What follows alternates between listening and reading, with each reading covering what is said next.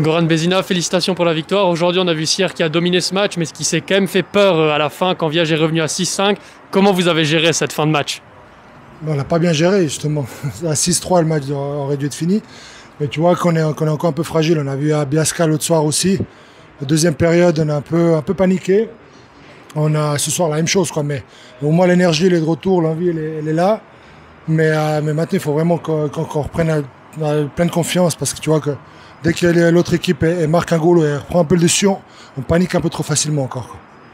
Aujourd'hui, on t'a vu partout sur la glace, un excellent match. Depuis quelques matchs, tu montes vraiment en puissance. Est-ce que tu te mets en, mode playoff là? Non, moi, gentiment, oui, parce qu'on euh, a envie de rester dans le, top 6, on a, envie d'éviter ce tour intermédiaire parce que voilà, on a la possibilité de, le faire et, maintenant c'est les dix derniers matchs. Il faut qu'on joue de la même façon que, que si on est en playoff ça va être dur de, de, switcher par après.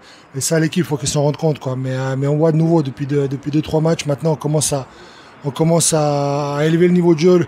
Les passes sont, sont, plus précises et l'intensité est là. Quoi. Alors je pense qu'on est sur le bon chemin. Quoi. Et un petit mot euh, sur le magnifique goal que tu as mis, le, missile en pleine lucarne. Ah, ça fait longtemps que je n'ai pas mis un comme ça. Là. Non, voilà, ça faisait un moment qu'on tournait, ils étaient, ils étaient raides.